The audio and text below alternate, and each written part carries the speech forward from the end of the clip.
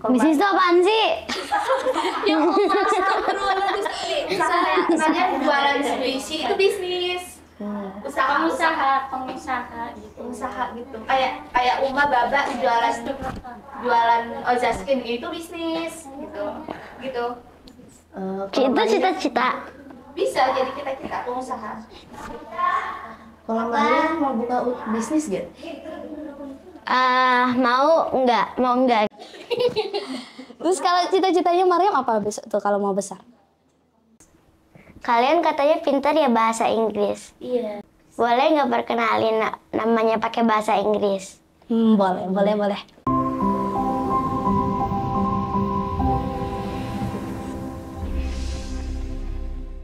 Assalamualaikum teman-teman. Mariam hari ini mau podcast sama anak-anak di Maskanul Hufaz Lil Atfal. Boleh kenalin ke teman-teman gak namanya siapa? Boleh, boleh. Eh, nama aku Ayatul Husna Bayatul Barwah Takiyah Putri Arya dari Magelang. Dipanggil? Dipanggil Ayah aja. Nah, nah kalau aku Mutiara Sabrina Memanau dari Tangerang. Eh, dipanggilnya Yara. Umurnya berapa? 12, eh astagfirullahaladzim, gak inget. 13, 13, 13. Eh, kalau aku eh, ya Akunya 11. muda. Tapi tahun ini 12. Ini 12. Kalian katanya pintar ya bahasa Inggris. Iya. Boleh nggak perkenalin na- namanya pakai bahasa Inggris? Hmm, boleh, boleh, boleh. Siapa dulu? Hmm. Uh, hi, so my name is Mutiara Sabrina Memanau. I'm uh, like about 11 years old. Uh, this year I'm 12. And you can call me Yara. Okay. Hello, my name is Ayatul Husna Bayatul Barwah Takiyah Putri Arya. So, you can call me Ayah. It's enough. Oke. Gimana perasaannya belajar di Maskanul Hufaz Lil Atfal? Happy. Well, that's pretty fine. Um, I'm happy there and I really like it. Oke. Apa yang buat kakak happy? There's a lot of friends and we learn new things. Uh, there's about hadith and then there's like a lot about akhlak and where uh, our akhlak is better than usual. Oke. Jujur, pertama kali pengalaman mondok. Dan itu sangat nantang banget sih bagi aku. Jadi seru. Seru lah, jelas seru banget. Challenging. Kenapa sih mau tinggal di Maskanul Hufaz Lil Atfal padahal kan kalian masih kecil? Hmm, kenapa ya? Karena pengen aja gitu nyoba biar jadi mandiri. Kan biasa kalau di rumah dikit-dikit tinggal "Eh, apa ya? Mau apa aja langsung bilang, Bunda pengen ini, Bunda pengen itu, Ayah pengen ini. Kalau di sini harus bener-bener kayak belajar, harus tahan mandiri, terus kayak berhemat juga itu paling penting. Belum Kalau bisa kayak sekarang. Mm, for me, well, it's a challenge for me, a really big challenge. Because usually at home, I need help from my mom. Like, uh, if I need to uh, tidy my clothes, I have uh, I have to need some help uh, from my mom. Like, um, Uma, help me. Can you uh, help me do this? Washing your clothes. But now, uh, I can um, I can tidy my own clothes and a lot of stuff I can do now. Oke. Susah nggak sih masuk Maskanul Hufaz Lil Atfal? Emang tesnya apa aja? Ada tesnya nggak? Yes. Yes, yeah. First time the test is like what is that? Ra Um, apa ya? I forget it. read- Oh ya, read reading Quran so Surah apa ya? I, I don't know. Pakai bahasa Indonesia juga nggak apa-apa. Aku tuh lupa gitu. Kemarin tuh tesnya apa aja ya? Oh, tesnya apa aja? Uh, for me, aku di tesnya uh, sur- surat Ash-Shams dibaca, terus abis itu kayaknya itu doang sih. Kalau dari aku sih semuanya gampang, kecuali satu pas tes menghafal. Soalnya pribadi sendiri aku memang belum pernah kayak ada pengalaman ngafal. Jadi kayak deg-degan banget. Tapi alhamdulillah ustazahnya tuh ramah, jadi nggak takut lah. Alhamdulillah ya. Sedih nggak kalau pisah sama orang tua kalian? Jelas sedih banget. It's really sad, cause like every night I I usually sleep like uh, with my parents, but now like alone and only with my friends. and so I just get scared and always cry at night. But now I don't. And you? Yeah, uh, I'm I'm homeschooling school, so every day, every night, I will my fam with my family, with my parents. So now I'm so feeling alone, but it's okay. Pernah nggak tiba-tiba kangen sama orang tua sampai nangis? Pernah. Sebulan. si malam nangis kamu. Aku masih ingat. Tiara udah nggak usah dipikirin. But just keep on malam ini langganan. Gonna nangis. Biasa kelihatan sama temen sih nggak nangis. Oh nggak nangis kok, tapi diam-diam di kamar mandi. ya itu sih hari-hari awal yang sangat berat. Biasanya yang dikangenin sama orang tua apa? ya kalau misalkan orang tua gitu em, apa ya eh, kayak baikin kita gitu peluk-peluk kita kayak bikin kangen aja gitu hangatnya peluknya terus habis itu tiba-tiba kayak nangis pengen dipeluk lagi Ya kalau yang bikin banget kangen kerasa banget bedanya di pondok sama pas di rumah. Kalau di rumah kan dulu ayah juga anak tunggal, tapi sekarang baru aja lahir kemarin ada. Terus kayak selalu kayak jadi prioritas orang tua. Sedangkan sekarang kan orang tuanya ustazah dan harus berbagi juga sama teman-teman itu sih yang paling bikin kangen. gitu. Kalau misalnya nih Pak Mariam, kalau misalnya Uma itu haji atau ada safari dakwah ke mana gitu, Mariam ditinggal di rumah kangen nggak? Kangen. Kangen banget. Kangen, kangen, kangen, kangen aja sih gitu. Paling lama ditinggal Uma berapa hari? Haji doang. Yang paling lama sih. Iya. Pengen banget haji. Kalau Kak Ayah sama Kak Yara lagi kangen orang tua, selain nangis biasanya ngapain? ya Salto. Enggak lah. canda, canda. Nggak mungkin. Pasti doa. Terus kayak kalau misalnya lagi kangen banget tuh pasti kayak doanya menujunya ke orang tua mulu kayak nggak ada kepikiran lain pas bilangnya kayak ya Allah pengen ketemu kapan ya bisa ketemu? gitu. Sama eh, doain orang tua Robi Firli wali wali daya warhamhumma kamar ini segera berkali-kali diulangin tiga kali bisa seratus kali juga bisa kayaknya itu. Bisa mah itu. Nggak ada nggak ada nggak ada sia-sianya berdoa. Iya. Kak Kepo dong, kok gimana cara pertama kali belajar di Maskan Faslit Atfal? aduh. Ya senang tapi campur sedih gitu kayak lagi belajar tiba-tiba kayak ya eh Uma sama jadi gimana kabarnya di rumah? Uma sama jadi gini gini gini gini ingat-ingat tiba-tiba orang tua? Tapi habis itu lanjut ke pelajaran lagi. Kalau ayah sendiri sih pribadi seneng karena antusias plus campur takut. Ya, karena pas pertama kali datang kan, Iya. ayah itu masih kayak dari nol banget. Coba baik, baca Quran aja belum bener tajwidnya. Kayak apa itu kayak teman-teman udah baca aja udah hmm begitu dibilang tabungannya berapa kak? Oh baru 4 juz. Hah? 4 juz Ana, juz Alma? Ya Allah. Gimana ya anak kerasaannya kayak ya ampun anaknya paling bodoh dari sini gitu lah. Jadi ayah ada kayak rasa takut gitu. Tapi alhamdulillah sekarang ayah udah bisa ngejar semua itu. Gimana ngehilangin rasa takutnya? Gimana? Hmm, biasanya sih buka-buka kan kalau misalnya pulang atau sebelum berangkat tuh ayah dikasih kayak catatan di binder dari orang tua. Nah itu kalau dibaca itu pokoknya kata-kata yang bikin semangat ayah naik banget. Nah gitu. Jadi Ya kayak pede. kalau kalau Kak Yara? hmm, kayaknya gak ada rasa takut deh Hmm. Mah udah pro, 10 jus masuk-masuk dia. Iya. Pernah nggak Mariam ada takut gitu kalau pas mau ngafal gitu atau pas setoran gitu takut nggak? Terasa takut gitu. Eh, takut sih enggak, tapi kalau misalnya kayak ada lomba-lomba ujian tuh kayak deg-degan gitu. Pernah ikut lomba? Lomba apa aja? Eh, lomba jus ama, Mm terus lomba jus 29. Insya Allah. Udah belum pernah ikut lomba. Tapi alhamdulillah menang. Masya Tapi nggak juara satu. Udah bagus menang. bagus menang Keberanian tuh paling utama. Kalau sehari-hari ngapain aja sih dari pagi sampai malam? Mungkin aja. hmm, ya yang pertama tuh biasanya kita bangun tidur sholat tahajud Itu yang paling berat. kita Aku yang- ketuk-ketukan disuruh sholat tahajud Itu setiap hari tahajud, sholat tahajud. Iya, Wajib. hari. Wajib. Kalau enggak, kop. Ikut. Ya. Dijamin nggak jajan seharian. Iya. Terus nanti kita bakalan datang ke Aula Maryam. Aula Maryam ya, bukan ke Maryam. ke Aula Maryam buat jamaah saat subuh terus kayak al maksurat setelah itu langsung balik lagi ke asrama terus mulai lagi halakoh sesi satu Iya kan? Iya. Terus habis kalau sesi satu kita tuh mulai pikir, pikir. Terus habis pikir eh, kita persiapan. Pokoknya persiapan halakoh lagi sampai sebelum zuhur. Pokoknya yang penting setiap setiap waktu sholat pasti berjamaah. kecuali Isya.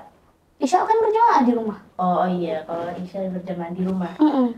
Kalau di aula Maryam cuma subuh sama maghrib sampai maghrib ya. Mm. Habis Isya berjamaah ngapain lagi? Ngapain lagi ya? Ya keperluan pribadi. Eh ya almuk astagfirullahaladzim lupa. Habis almuk itu baru yang kita keperluan pribadi. Kayak baru di situ lah nyempatin beres-beres kasur, kamar semuanya. Ya yang udah ditinggalin. Nambah- Nambah hafalan. Ya wajib tuh. Kalau nggak besok auto nggak dapet setoran. Iya. Kenapa mau ngafalin Al-Quran? Hmm, yang pertama niatnya karena Allah, yang kedua ya biar orang tua masuk surga. Sebenarnya awal-awal tuh pas kecil, ayah tuh nggak mau ngafal Quran. Kayak bang, pokoknya bunda, ayah nggak mau ya ngafal Quran. Kayak pokoknya nggak mau. Tiba-tiba kayak ada sebuah hidayah saya nurani yang menyinari. Terus tiba-tiba kayak terinspirasi lah pengen coba gitu ngafal Quran. Eh lama-lama beneran kayak pengen pokoknya anak harus bisa gitu 30 juz gitu. Kenapa Kak Ayah nggak mau ngafalin Quran waktu kecil? Apa ya? Dulu kayaknya punya trauma setoran sama ibu sendiri. Kayak gimana? Canda ya bunda jangan marah. Enggak, dulu memang ayah tuh takut kalau disuruh ngaji. Bayangin kan kalau misalnya ngaji kan kayak makanya ini alasannya ayah tuh nggak boleh nggak boleh ditiru ya teman-teman. Dulu kalau misalnya mau belajar ngaji, ibu ayah tuh bagus baca ngaji ya, tapi ayah nggak mau diajar. Setiap habis maghrib jadwalnya ngaji, tapi ayah pasti langsung kayak kabur gitu ke mana kayak tiba tiba mijit ayah apa apa gitu ya banyak alasan lah pokoknya Hmm. Tapi pokoknya ya itu salah satu yang ayah sesalin tapi setelah itu semua kayak ayah senang kayak setelah kemaskan kayak itu semua bisa diperbaiki masih bisa belum terlambat Iya. kalau Kak Mariam kenapa mau ngapalin Quran apa Nggak tahu sih. Eh, mau aja. Nggak tahu, nggak tahu. Masya Allah langsung kemauan dari diri pernah nggak Mariam gitu nggak mau setoran gitu sama Syekh karena tiba-tiba kayak males banget gitu pernah nggak Pernah sih, pernah tuh bukan kayak malas-malas gitu, tapi kayak habis les gitu terus langsung kemaskan buat setoran gitu sama Syekh Asma. Jadi kayak bukan malas tapi capek gitu. Masya Allah Apa sih suka dukanya dimaskan? Kalau sukanya, alhamdulillah lebih banyak banget. Selain Iya. dapat ilmu banyak, ketemu banyak orang hebat. Kalau nggak dimaskan, saya mungkin nggak pernah bakal ketemu sama Maryam buat podcast, nggak pernah ketemu sama Uma. Tapi kalau dukanya tuh apa ya? Nggak ada sih. Cuma kadang nahan rasa rindu aja sih. Kalau kayak um, uh, just normal, uh, uh, almost like kayak uh, just holding like uh, like maybe if like the fr- my friends like uh, do this or maybe if I don't get my setoran right, Ya, yeah, like supporting. no, not supporting like uh, it was wrong like uh, I became sad.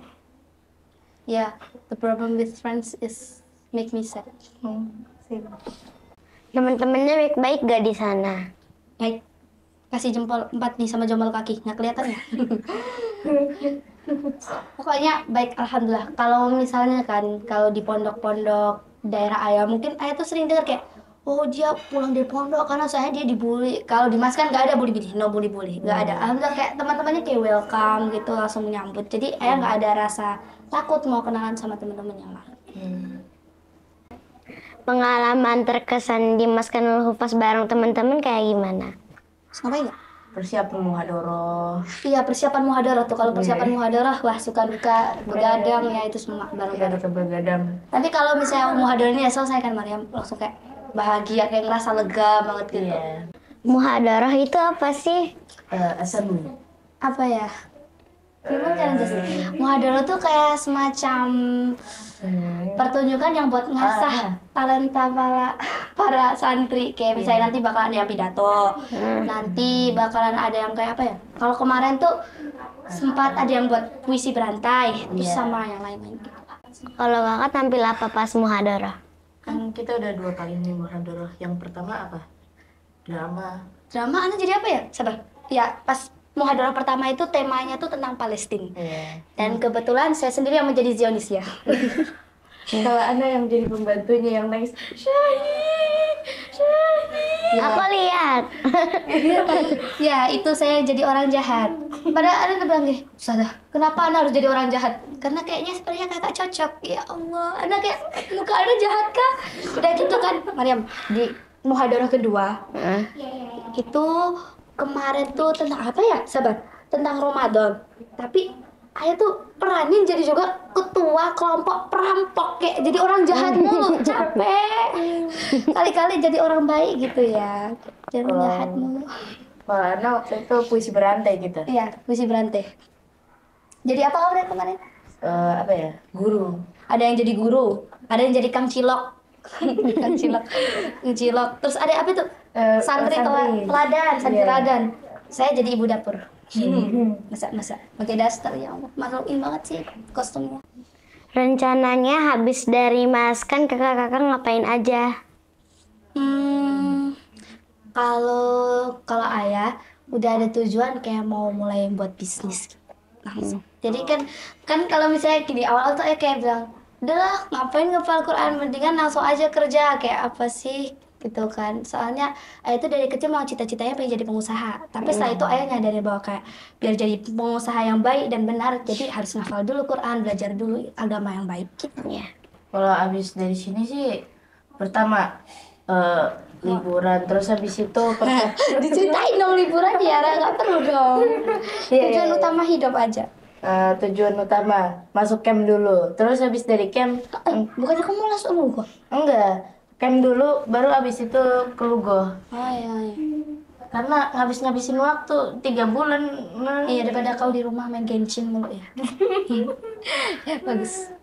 Tadi katanya kayak mau buka bisnis. Emang mau buka bisnis apa? Em, pertama sih sebelum buka bisnis, ayah pasti harus cari dulu pengalaman bareng kayak ayah bunda.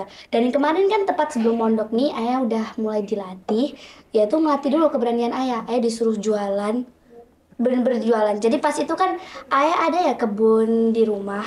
Jadi itu dipanen lah sama ayah anak kayak sayur-sayuran. Terus nanti ayah bakalan keliling satu kota. Jadi ayah cuma ayahnya ke ayah itu cuma pakai motor. Nanti ke ayah bakalan turun nawarin itu dari sore. Kayak pakai apa ya? Tahu nggak sih kalau pakai motor terus kayak ada beban-beban di sampingnya kerombong kalau tempat tanah. Nah itulah pokoknya itu keliling satu kota harus jualin gitu. Terus alhamdulillah hampir setiap seminggu tuh panen dua kali. Alhamdulillah ayah bisa jualin habis mulu kadang-kadang kalau ada sisanya ya nggak apa-apa tapi banyak kan habis. Kayak nggak mau buka bisnis. Mau sih, mau buka bisnis. Baju boleh. Tapi harus belajar. Kayak ini bahan apa, Iya. ini apa. eh, kan memang awal dari bisnis tuh yang pertama dari mental terus yang kedua tuh juga kayak apa ya memahami dulu bisnis yang mau dijalankan. Kayak kemarin kan ayahnya ayah kan sempat mau buka lahan itu buat perkebunan durian sama alpukat. Jadi di situ ayah banyak banget kayak belajar kayak harus gimana gimana gitu di kebun. Jadi mainnya di kebun